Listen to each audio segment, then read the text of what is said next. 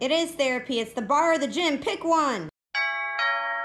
Something that always fascinated me, I'm curious about, we get is dick pics. I don't know any girls that get great benefits from dick pics. I don't know what to do with a dick pic. I'm supposed to stare at the dick pic while flicking the bean to it. I don't, I don't know. Like, yeah. Uh, is, it, is it a current dick pic that you send? Do you send like a current one?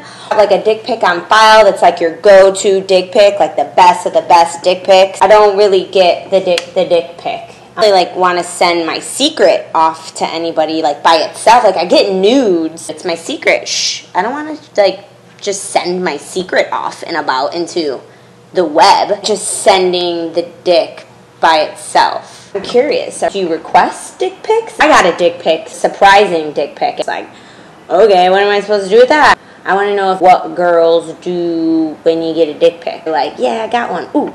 Oh, yeah, feedback on that.